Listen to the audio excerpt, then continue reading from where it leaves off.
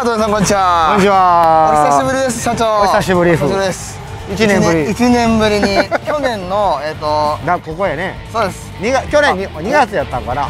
そうですね、以来。一ヶ月一年以上ぶり。そうですね、なかなかお会いできなくて、ご無沙汰してます。あ、この間のアトレのやろう。ありがとうございます。ありがとうございます。コベちゃんも喜んでたので、ね、あのー、施工取り付け会社さんもあそうですユーザーさんも喜んでいただいて結構あのフィッティング良かったみたいで、あの取り付けしやすかったということで、はい。取り付けはええんではい、で、今日は、はい。僕あの、まあほぼもうショープラさんのために来たんですよ。ありがとうございます、はい。ほぼ。去年も確かそういうこと言われてて今年も。結構いつももうここメインで来てるんで。ありがとうございます。はやっぱ社長とちゃんと絡んでおかないと。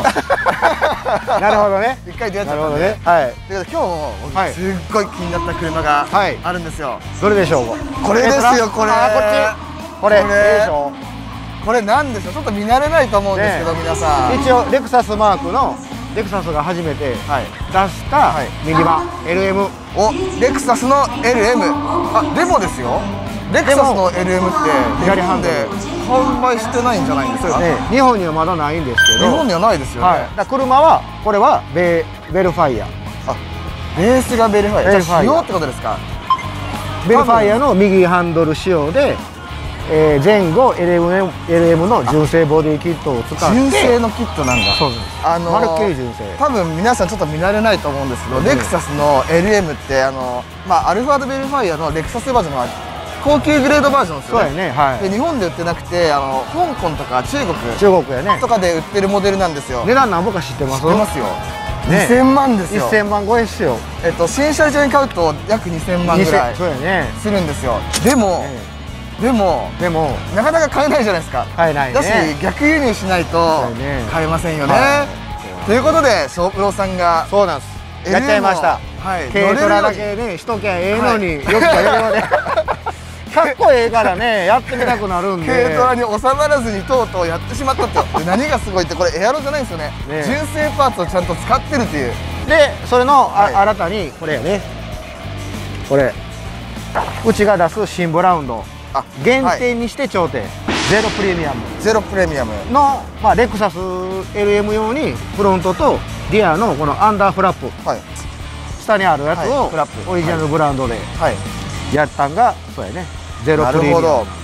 じゃああれですね。この LM シューにとどまらずエアロまで作っちゃったっていうねことですね。ね。ところであのこれってどこまでの改造がいるんですか？これってここまでするのに。いやこれねまずベルファイアなんでフェンダーが違うんですよ。あヘッドライトが違うでまあフェンダーボンネット、はい。ヘッドライトのグリルの純正バンパー、全部純正を使うんですよね。全部純正ね。すごくないですか皆さんこれ。とインナーのカバーと。じゃあもうごっそり本当に LM の部品を使って30のアルベルを LM ションできると。これお値段って おいくらなんです一応ここれは、えー、3.5ZG のはい。ベルファイアベースで、まあ、しベースが450万ぐらい。なんかここに書いてありましたねそうやね。ちょっと見ていいですか？なんと。え？ちょちょっと待ってください。ええええええ？これ何やね。1十百千万10万100万。1000万1000万。1000万。1000 万え郷ひろみやね。億千万の億千万。違うか。ー、やばで社長1000万ですか？だからここまで1000万いくのはまあエアサスとはい。ブレーキが入ってるんで、あー高いんですなるほど。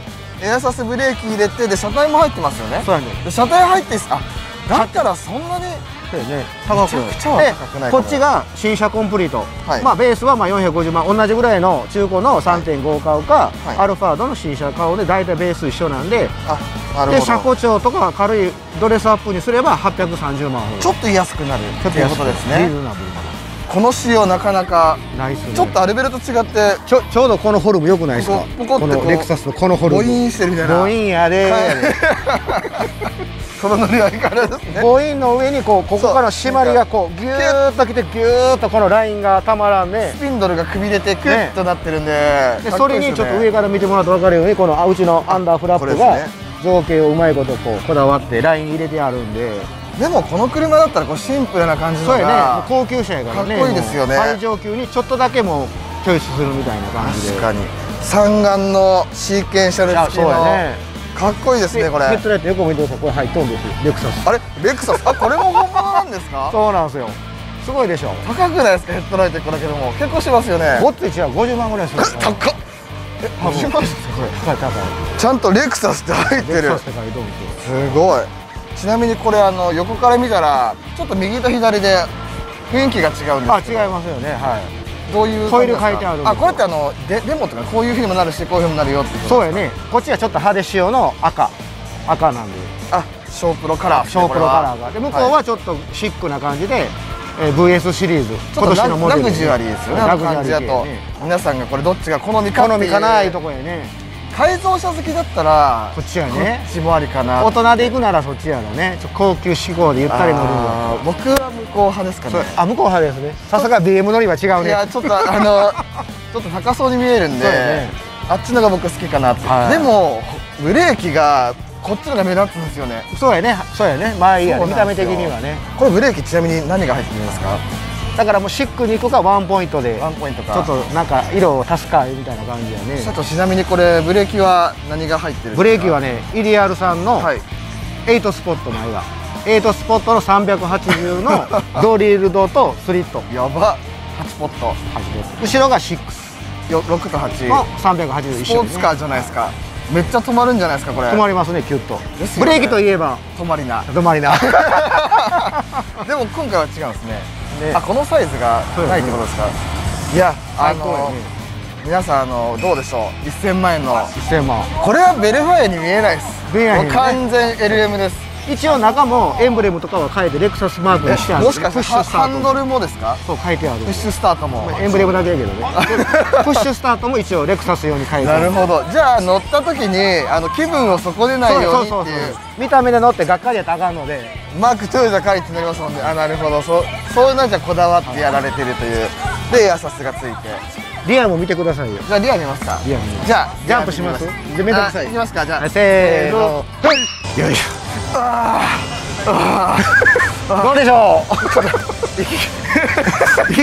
う？し んどかったね空間がちょっとしんちょっと高いことジャンプしたんでこれでまたテールかっこいいでしょ、今いきなりっ入ってくれちゃったもう早いせっかちやね間を与えない間を与えないはい、じゃあリア見てみますかはいはいお繋がってますねこのテール、ね最近欧州系が一本ラインになってるポルシェとかあんポルシェもなんがねそうですねかっこいいでしょ。全部光ってるんですねこれ。ってことはこれトランクのゲート越しですか？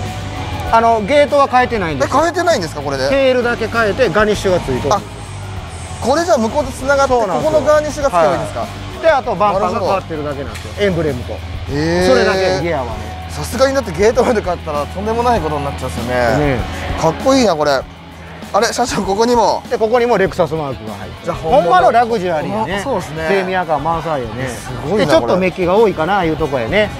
ああメッキパーツ。メッキがね。この方になってから結構メッキが多いですよね。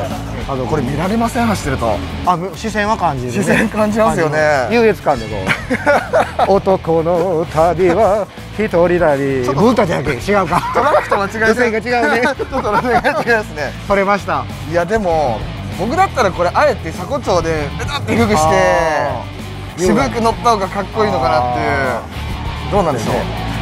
あそうだこれってちなみにあの今例えば現在30のアルベル乗ってる人がこはい。の仕様にしたいなと思ったら、えーとね大体加工、まあ、パーツが200万ちょっとするんですよ。はいはいで取り付け塗装で250からいうとこやね。から、はい。250からできるってじゃあこの車は中古のコンプリート車で1000万。1000万で新車でパーツを少なくすれば830万でできる、じゃあ今のアルベル乗ってる人だったらパーツ代だけで済むってことですよね？そうやね。パーツだけ250前後あれば LM 仕様になるという。でちょっと難点がサイドやね。サイドスカート。何が違うのグレードがあの一番 A グレード。エクステムラウンジ S っていうサイドステップなんですよ。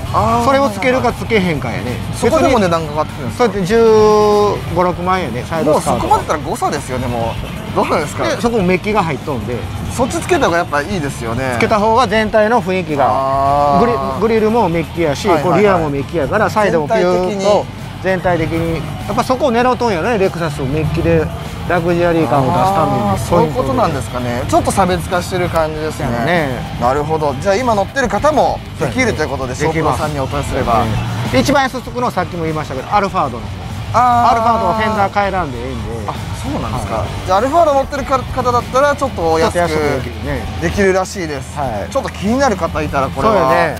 出てます？はい問い合わせここ出てます？あ問い合わせあの 概要欄に書いておくので。概要欄に書いてでます。も2300万って言っても多分普通のカスタムしたってなんだかんだやったらそのぐらいいきますよ、そうやね。なんだかんだ。ってことはそんなにめちゃくちゃは高ないかも。そうでも車買う時にやった方が多分本当は一番やりやすいかもしれないね。ローンに一緒に組んでとか、後からやるとちょっとうってなるかもしれないですね、いやでも全部翔太さんにあの相談してもらえればほんまやね相談してください提案してくれると思うので。軽トラもやりますがレクサスもやります。社長なんかいつもあの幅広いな。極端じゃないですか。ね。軽トラからの高級車みたいな。農業車両から高級車両。間は間がない。間がなくて極端なんで本当に。ほんまやね。